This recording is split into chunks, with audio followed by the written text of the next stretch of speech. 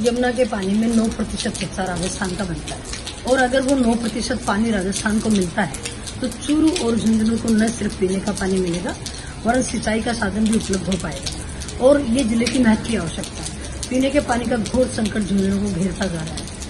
पर अफसोस की बात है कि अभी तक यमुना का पानी लाने के प्रयास वास्तविक रूप से हुए नहीं। मैंने सांसद रहते हुए इसके लिए घोर परिश्रम किया, अनेक बार प्रधानमंत्री जी से मिली, सारे कागज़ इकट्ठे किए और डीपीआर तक हम पहुँचे। आप ये मत समझिए कि डीपीआर तक पहुँचने के लिए अनेक बाधाएँ को नहीं झेलना पड़ा। अनेक बाधाएँ भी है, पर आपके आशीर्वाद और साथ से हम यहाँ तक पहुँचे। अब सुनने में आ रहा है कि डीपीआर निरस्त हो गई है। अब चिंता न करें ये लड़ाई मैं लड़ूँगी। ये पानी जो राजस्थान का हिस्सा है जो झुंझुनू का हिस्सा है। ये झुंझुनू की धरती पर हम ला कर रहेंगे। मैं इसके लिए आदमी प्रधानमंत्री से मिलूँगी। और जहाँ भी मुझे जाना होगा, ये लड़ाई मैं जारी रखूँगी।